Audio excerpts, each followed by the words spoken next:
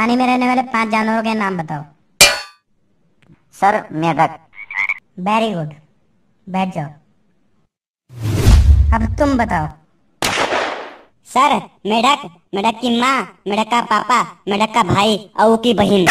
और हम है ओके दादा ये मजबूर हैं, पर आप नहीं।